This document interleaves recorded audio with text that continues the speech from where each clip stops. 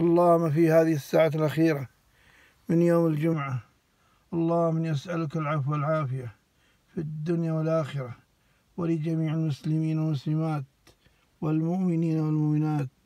يا خير الحافظين.